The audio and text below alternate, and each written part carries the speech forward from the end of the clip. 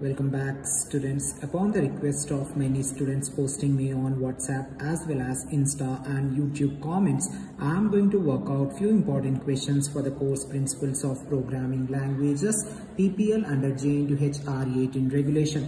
Before that, I would like to let you know the course which you have taken till now like web programming as well as web technologies by the computer science as well as information technology students. Most of the questions were covered from the questions which I have highlighted in the earlier videos and a gentle reminder for all my viewers as well as the subscribers is that I am going to enable few more questions I mean few units important questions for the members who have taken membership in my channel.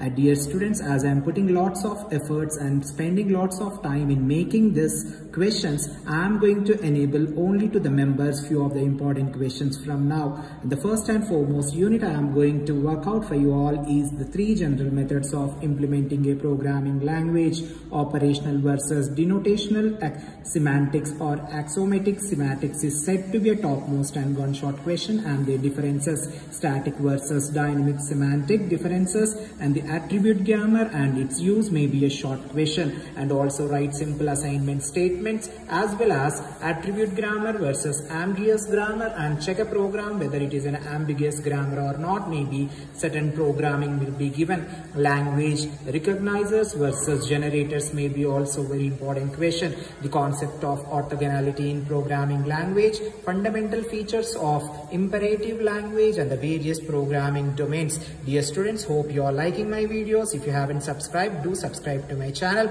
I'm going to work out second year as well as first year important questions as per the part A, part B. If you have sub list, you can follow those questions and clear the courses. Phases of compilation is said to be a short question or the long question and the gunshot question which is said to be a very important along with the flow chart. Factors influence the writability of a language is a very good uh, interesting question and the potential benefits of studying PL concepts may be also a long question. From this part, we can expect 2A, 2B as well as 1A dear students. If you haven't taken membership on my channel, please do it immediately as you are going to receive very important questions as per the JNTU. How operator associative can be incorporated in grammars and syntax versus semantics is said to be a topmost and one short question for 2 mark. D derivation. Part C3 related to part C2 you are supposed to write a program which is said to be a 2 mark or the 5 mark and the grammars, their differences and their definitions. EBNF, description for the C union short question, language categories is a short question, criteria of success for a good programming language and steps involved in it is made to be a long question this time in the question paper dear students. Advantages of OOPs and the pre and post conditions of a given statement mean in axiomatic semantics is said to be a topmost question which may occur in the paper either 3A as well as 3B. Define the term virtual machine and explain it. Characteristics of writability or reliability in programming language may be also a 5 mark question. BNF and EBNF versions of an expression grammar. Dear students, the course PPL is too lengthy and too, too lengthy in its structure. You are supposed to focus each and every parameter which I have highlighted. As I was telling you that for the remaining units, I am going to enable only to the members where they are going to showcase interest or not by following my channel. I'll be coming to know by looking at the memberships. Define the term variable and the attributes and subtypes versus derived types. They, their differences, design issues for a character.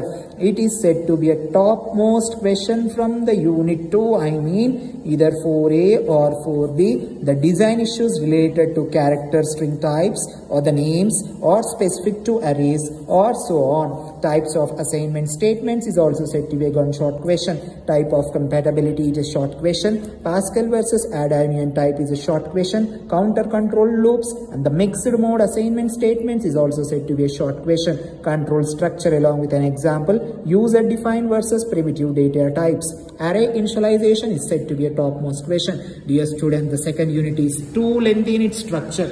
Unconditional branching problems and the statements. What is the problem with a case sensitive name? A short question. Guarded commands and the example is said to be a long question or a short question. From any corner, any part of the unit 2, you are going to get question for sure. Name constants, associative arrays and structure and operations, C++ pointer versus Java reference variables, types of union and example, pointers, Fortran 90, Ada Pascal and example is said to be a very important question. As I was telling that the unit and the course is too lengthy, too lengthy structure, you are supposed to work out each and every parameter, precision and range, analyzing problems and approaches for supporting dynamic allocation and deallocation for dynamic length string is set to be a topmost question. Arrays types and how to initialize may be a short question design issues of multiple selection constructs and the name type versus structure type compatibility and their differences. How is the order of evaluation of attributes